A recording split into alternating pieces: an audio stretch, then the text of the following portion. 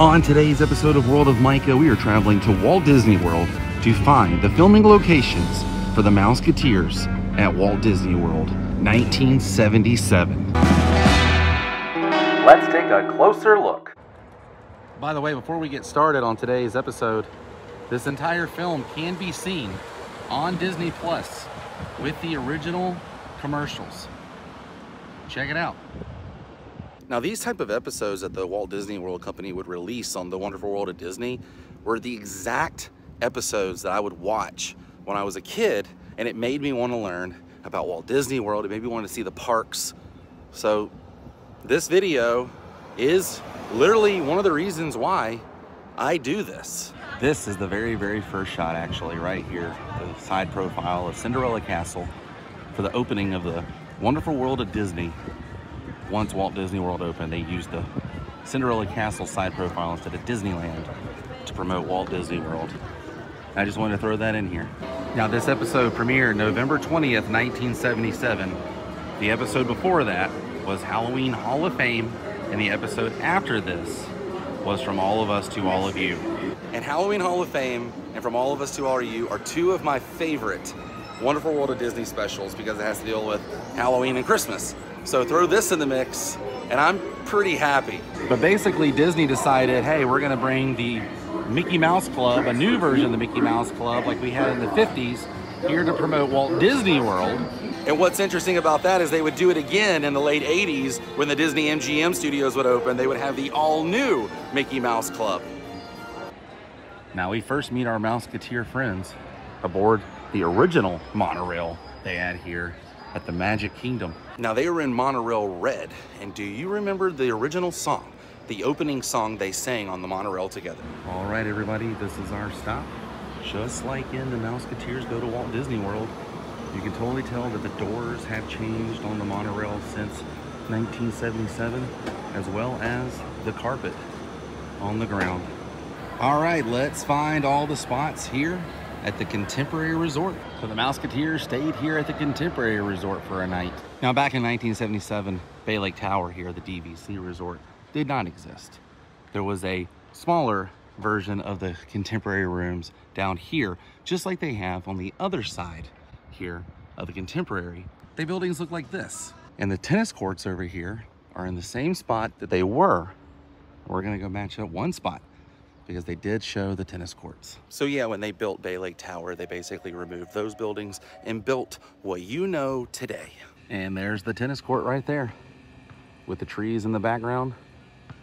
And then she would have left the gate and would have walked this way back towards the contemporary. And none of this was here. The other buildings were here. Savage Garden playing in the background as we walk down Bay Lake dock here. And I believe the dock they were on might have been this dock here. I'm sure this has been changed since 1977. But we're gonna match this up the best of our ability. Right here, you can see the Mouseketeers and the food set up and they were in their disco gear. and they were waiting on Mr. Brown to come. They were gonna take a photo together. It all took place right here on Bay Lake. And then when she takes the photo, See the monorail coming through there underneath the bridge? That bridge didn't exist, so you could see the monorail. Bay Lake Tower didn't exist. Those buildings, like I was talking about earlier, those were there. But this is where she was taking the photograph. And then she took the photo of Mr. Brown and the rest of the Mouseketeers right here. And then someone was paging Mr. Brown and they actually had the pager on out here. They don't do that at Walt Disney World. They don't page people, but they did. The Mouseketeers go to Walt Disney World. And then the Mouseketeers thought it was a good idea to push each other into Bay Lake. They all went in one by one.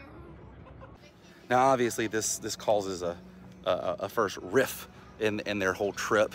They all were having fun at one time, and then they got mad at each other. So they stormed back into the contemporary, soaked in their, their, their 70s flair right in front of Miss Osborne, who's doing the, the journaling of the Mouseketeers, and she thinks she's getting the good drama. This is about the closest shot I can get of the contemporary unless you go into the pool area. But they zoomed in right on Mr. Brown's room, which was right up there. Now inside Steakhouse 71, it used to be called The Wave, and then before The Wave, this was actually where they had a fun center, and they had all kinds of games, and I believe bowling, and things like that in a movie theater.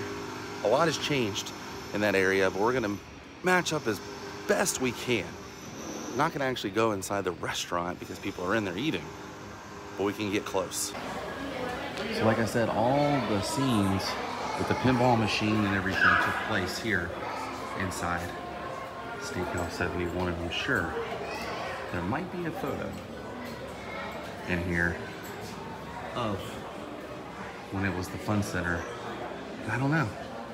Or maybe some of the Mouseketeers those. These are all from opening day here, but yeah, down here is where all of that took place. Now here, the lobby, the lobby sure has changed the way everything looks, but this is where Mr. Brown was checking in. Right here, you can see how much really has changed. And then he bumped into Miss Osborne. And then around here, in this area where they have the eggs, I believe is where the Mouseketeers came storming in, soaking wet. Miss Osborne thought she was getting the goods.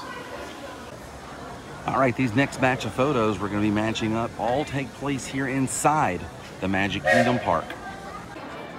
Right here you can see Nita running through this area and the boys looking for her. There used to be plants down here they had on the ground. They do not have that anymore, but the buildings still, you know, match up. Architecture around here really doesn't change a whole lot, especially on Main Street, USA. But right down here is where I guess they had those potted plants. Nothing like that exists here anymore. All the plants are up on the, the balconies of the second floors here on Main Street. Right here is where Miss Osborne found Mr. Brown and one of the Mouseketeers sitting. They were out here in front of Casey's corner. The chairs still are the same, but the umbrellas have changed colors, but this is where it took place, more or less. So Mr. Brown was down here with the, uh, the Mouseketeers, and then there were a group of Mouseketeers right here. All this still looks the same. Basically, Nita runs this way, straight towards the camera, and then runs right up here to the old Skyway buckets. That's where they were. And then she takes her Skyway journey all the way there. And the director got a little creative with this shot. They actually put the camera through that right there and got the point of view of Fantasyland, but from with that little design cut out. Right here, this is where Nita walks out. It said Tinker right there. Maybe Tinkerbell had a store over here back in those days. Few changes over here. This is where you park your strollers now. It's not an entrance, that door. But then she walked over to the Cinderella fountain. Yeah, Nita was right here in front of the fountain. And then she sat right there. It was kind of a low shot. And that's where she was upset about not having friends. But then Winnie the Pooh walked over and had a little moment right here. And I'm not sure why, but back in the 70s, when this place first opened up, they filmed a lot of scenes in the Tomorrowland Speedway for a lot of specials. So many scenes took place down here in the Tomorrowland International Speedway, long before Tron. Space Mountain was here though. The next time you ride here, just imagine you're hanging out with Mr. Brown and Miss Osborne and the Disco Mouseketeers.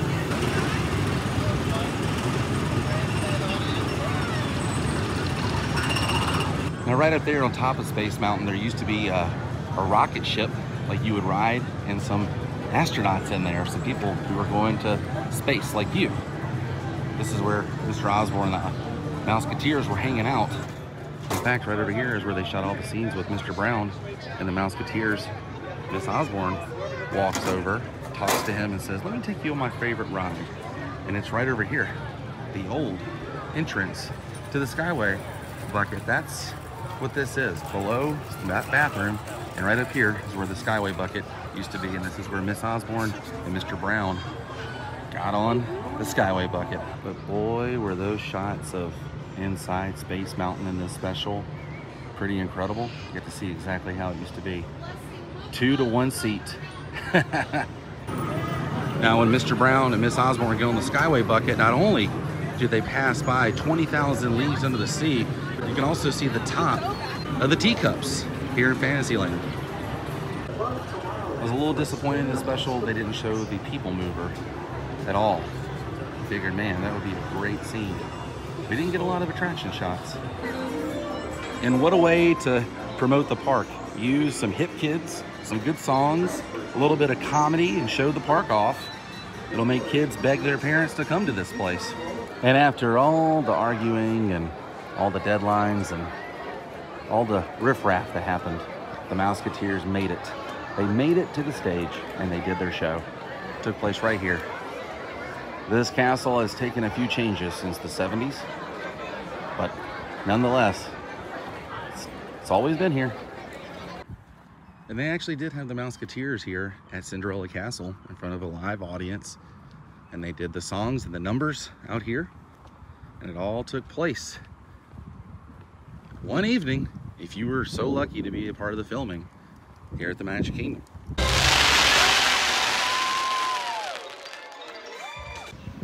Man, filming inside the Magic Kingdom was a little difficult today because I try my best, I strive to not show other people unless they're with me. You know, sometimes you can't help it, but yeah, that was, that was a little difficult trying to get all those shots and everything, but sorry if it was quick, but I really wanted to get this done and uh, yeah, it was, it's packed. It's spring break. Hello.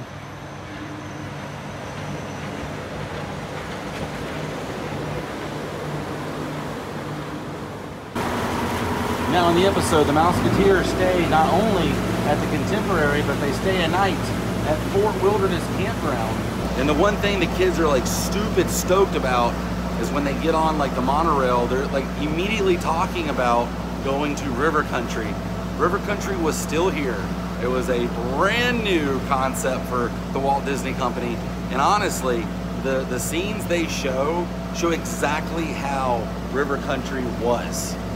We're gonna go over here and look and see what's left. There's pretty much nothing left. I gotta fix this. I got one strand of hair. Let's fix it. There we go. So let's see what's left. of river country. And you know you love seeing the inside of the Contemporary from back in the 70s. It's pretty cool, all the, the scenes they shot inside the actual buildings. I love it. All right, right here, it was river country. River country, big river country. It's a catchy song they sing. Right there's the, uh, the tennis shoe tree. It's a little secret in the, the Disney community and, and cast members. But right there, that was River Country. Nothing, I mean nothing, is left. They leveled this completely because they were going to build another DVC area, and I don't think that's actually happening. But nothing remains from River Country, so people have ventured in there many times in the past There's nothing worth seeing in there now. I got to see River Country, but I never got to visit River Country. I came here with my grandparents, and I remember us coming over in this area here by the beach and looking over and, and seeing everything and, you know, watching all the TVs and the resorts and stuff at night and seeing the clips. I remember it, and I remember when it sat here abandoned for so long and so many people went in and checked it out.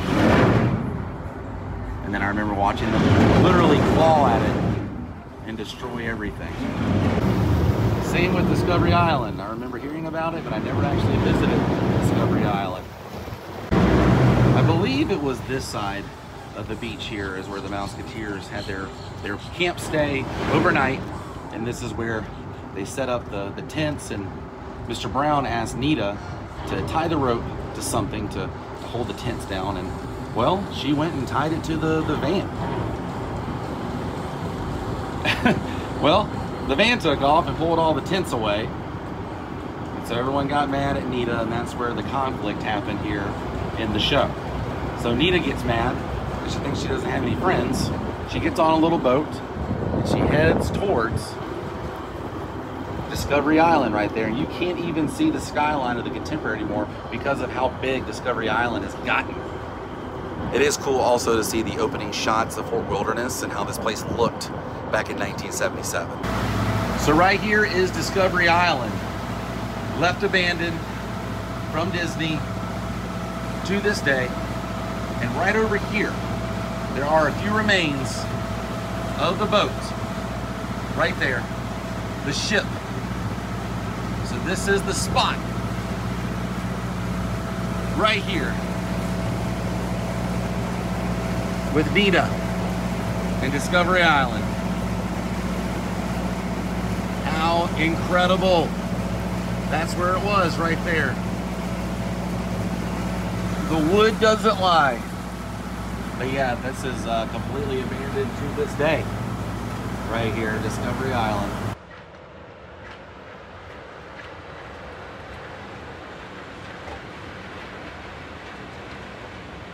Well, that does it for all the Magic Kingdom and Magic Kingdom Resort locations. Now I'm gonna hop in the car, drive over to Disney Springs for one location. Because two of the girls, I believe it was two of the girls, and Miss Osborne goes shopping. She tries to get to know the girls a little better at Disney Springs. Well, it was the Disney Village back in 1977. Whole lot different than what we know today. But let's let's drive over to Disney Springs for that spot. Made it to Disney Springs. Let's go find those two locations. It was really only gonna be one location, but I was like, you know what? I'm gonna show some of the scenic shots here of Disney Springs because it has changed. This was not the paddlefish back then, but it was in the same spot. It is the same boat. And they had little boats all around here. They showed a few scenic shots of the Disney Village at the time. And then it kind of zoomed in straight ahead where the old pottery area used to be. And this is where Miss Osborne was trying to connect with some of the girls and get the scoop, the inside scoop of the Mickey Mouse Club. Yeah, back here, this area was used in the Disney Village marketplace scenes. Right over here used to be a shop. It's right over here, Miss Mary Lee's Fashions. You can see right behind the girl, it says Fashions. Well, the girl saw a guy who was sitting kind of in this area, thought he was attractive. You can see this window in the background where he was sitting. They walk over and ask him if he likes the outfit. And then the two girls are sitting right here. Right there it said apothecary on it. That was the apothecary. Those windows can be seen and they were sitting right here. Then Miss Osborne joins them and they all talk. It all happened right here. It's kind of cool. Now the guy gets up from the bench and walks over to his wife or girlfriend, and this is the building. They've extended this roof line since 77, but these windows here match up pretty well, and this is exactly where he would have been looking if he was sitting in the bench over there to the left. And then over here where Earl is, this was Miss Mary Lee's fashions at some point. Not sure if they did any changes here with the architecture, but this is it right here. It's because of the, the windows there and more or less the roof line. Thought it was Goofy's Candy, but I can see where they just extended that. It used to be flat all the way across. And that's a wrap on Disney Springs. And that's it. Mission accomplished here today. The Mouseketeers at Walt Disney World. 1977. Filming locations, possibly the first, probably the only person who will ever do this. Well, we came, we saw, we took care of business here today.